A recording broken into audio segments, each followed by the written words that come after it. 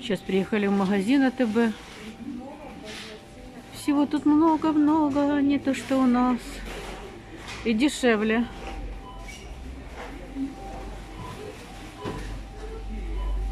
Сейчас купим помело. Я люблю его хорошие фрукты. Тут недорого. 2 доллара килограмм. Вот еще сельдерей. Доллар килограмм. Тоже куплю. Тут еще имбирь дешевле. Так, вот вам гречка. 45 гривен. Доллар 30 центов гречка.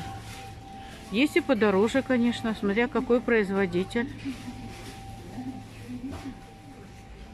Вот есть кина, крупа.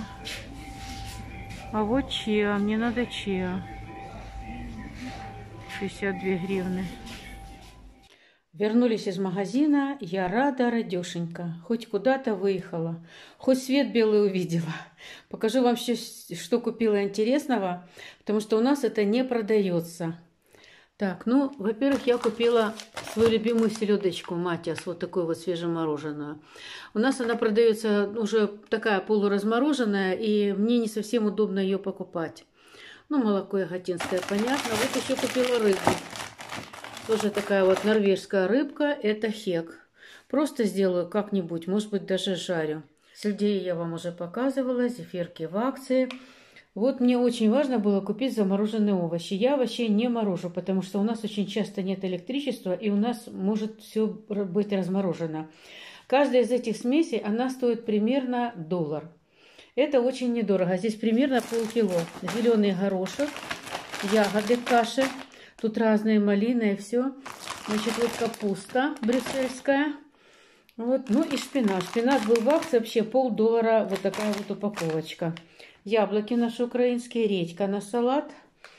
Так, теперь я взяла еще оливки. Оливки полдоллара. Я люблю оливки. Так, булочку для мужа. Чай черный заваривать на утро. Помыла и взяла семена чиа. Буду вам показывать, что я из них буду делать. Так, еще одна очень хорошая женщина написала мне, что она в ВТБ купила себе вот такие вот ледоступы. Я вот когда была в ВТБ в прошлый раз, это, конечно, было не сейчас, а месяц назад, то я не видела их. А сейчас они поступили, стоят 49 гривен. То есть э, это доллар 50 центов. И знаете, они легкие. Еще их не примеряла, но мне очень нравится, что они легкие, потому что остальные, они такие вот жесткие какие-то, неудобные. А этим вот она пишет, что ей очень нравится. Вот я сегодня буду пробовать их, ходить в них, цокать буду, как моя Маруся.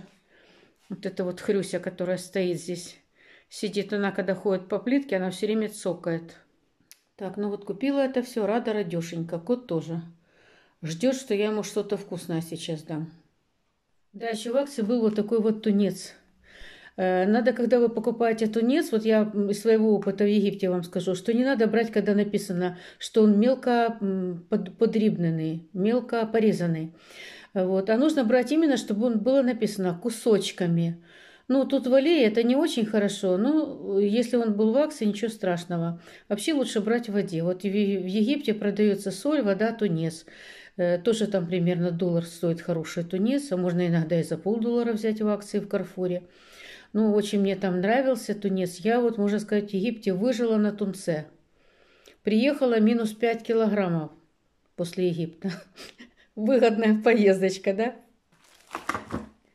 Напишите мне в комментариях, как вы думаете. Так, сейчас буду резать это помело.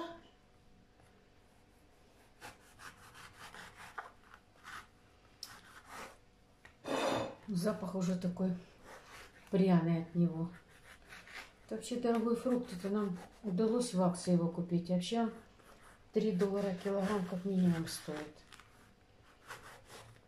Ну, тут, наверное, килограмма полтора. Но вкусненько. Сейчас посмотрим, что внутри.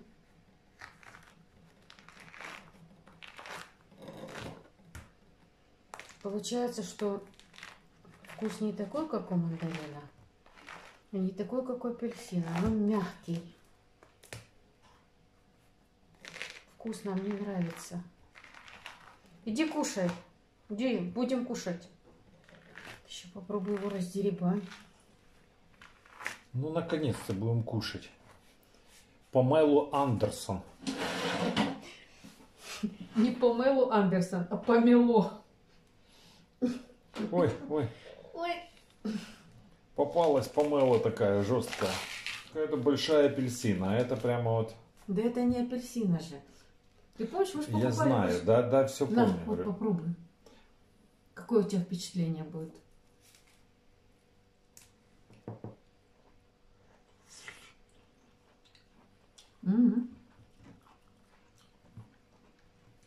Ц- Цельнозерновая апельсина.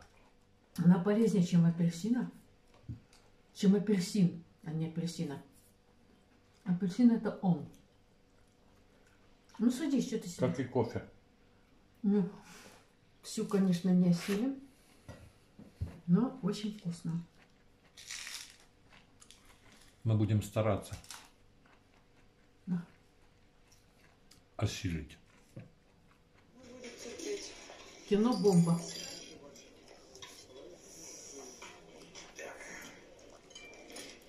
Приятного аппетита. Спасибо. Это действительно удивительный фильм. Казанова. Во всех отношениях. Игра актеров. Игра актеров бесподобна. Главное, нет никаких декораций, все натурально снимается в таких крас- старых красивых квартирах. Это просто удивительно. Такая природа. Ереван, Тбилиси. Боже, как я туда хочу поехать. А природа это вообще невероятно. А Ходченкова это вообще, как она играет, это невозможно передать. Сегодня у меня такие вот перемены. После праздников купила сегодня пленку. Такая пленка стоит 4 доллара, 125 гривен метр. Купила в хозяйственном магазине, забрала последний кусок. Очень мне она понравилась. Такая вот плотная она, толстенькая, хорошо ложится. Мне надо сохранить эту тумбу, потому что коты прыгают сюда на подоконник, и они прыгают со стола. Маруся прыгает на стойку, поэтому я хотела сохранить тумбу. У меня была некрасивая вот такая вот пленочка. Помните, я моя показывала? Вот она вот такая. Вот я покупала ее на Петровке. По цене она такая же, но она не годится совершенно по дизайну. Это такая красивая пленка. Так она мне понравилась.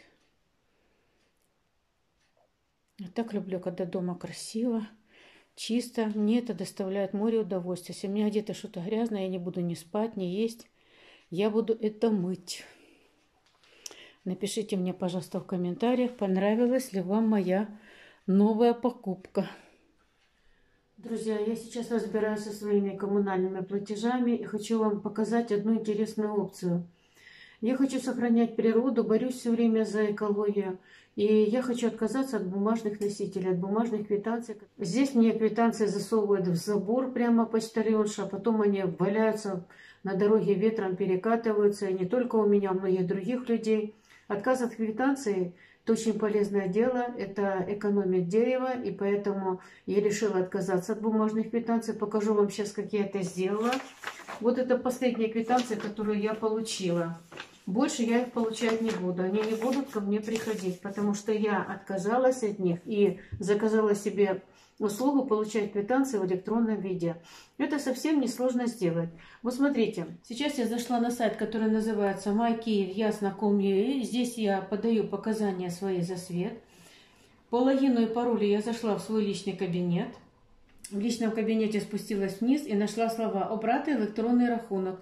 Здесь у меня уже стоит птичка на желтом фоне. Она говорит о том, что я отказалась уже от бумажного носителя, и мне приходят квитанции все в электронном виде.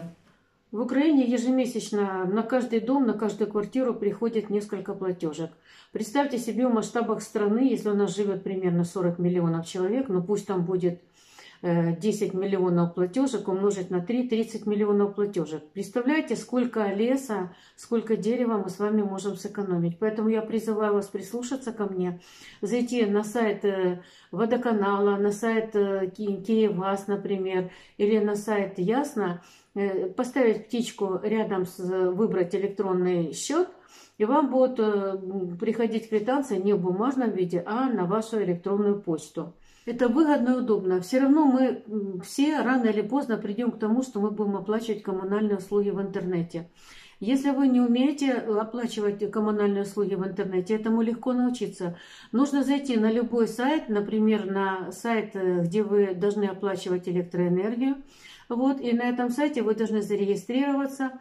И будете вносить туда свои показания, и будете получать платежки в электронном виде. На каждом таком сайте и в водоканале, и в, э, там, где оплачивается электроэнергия, и там, где вы оплачиваете газ, везде есть инструкции, как подключиться э, к электронному кабинету и как получать квитанции в электронном виде. Ну, призываю вас при, прислушаться ко мне, присоединяйтесь, будем беречь лес, беречь природу, это наше будущее.